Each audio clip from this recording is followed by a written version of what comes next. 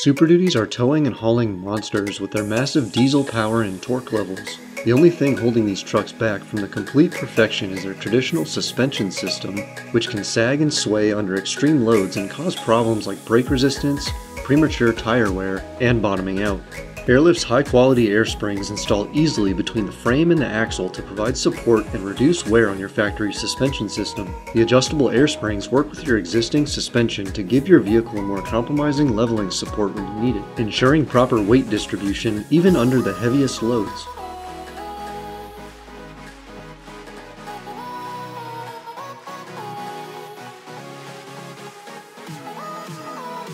With the truck safely in the air, we remove the rear wheels for access to the rear suspension. The new airbags will take place of the factory bump stops, so we can remove them along with the two bolts mounted in the frame. The clips can be pried off with a flathead screwdriver.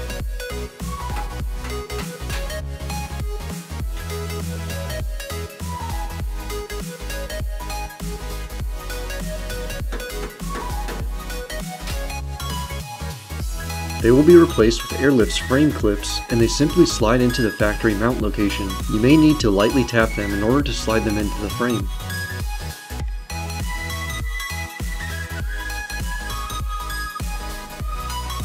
Now we are ready for the top plate that bolts to the new frame clips. It installs a certain way, which we show here.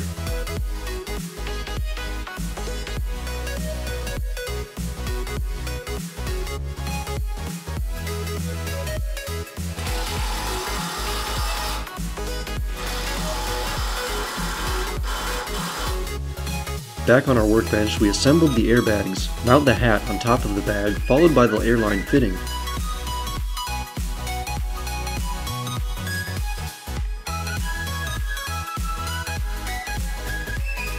The top plate mounts next, and you will see its orientation by the cutout for the airline fitting.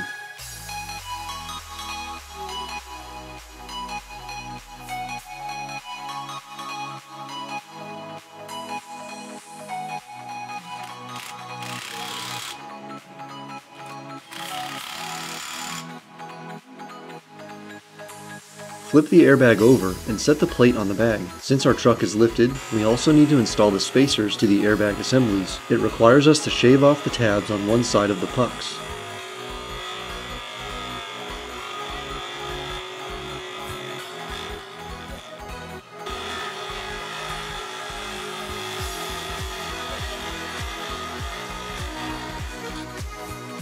Once they are shaved down, the shaved side can mount to the bottom of the airbag and the other puck to the bottom plate.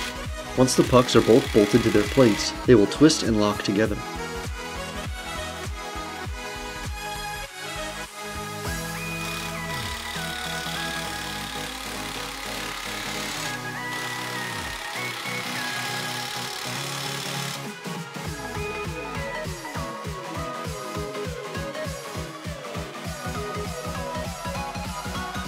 After the spacers are clipped together, mount the rear block plate to the bottom of the airbag. Leave it loosely bolted together for now so it has slight movement for install later.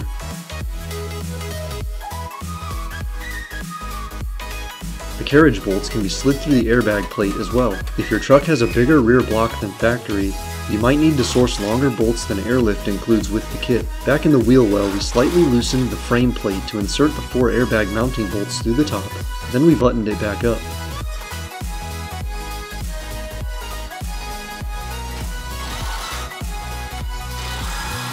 The airbag slides into the rear suspension with the long carriage bolts carefully routed around the brake lines by the axle.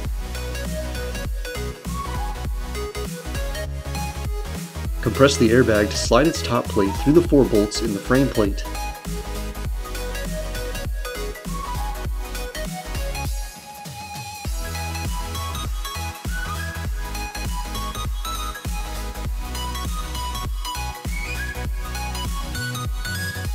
You can see here how we have the completed airbag system assembled on the rear end. The only step remaining is to secure the airbag to the axle by bolting it to the frame, slipping on the axle clamp, and securing the U-bolt to the side of the rear block.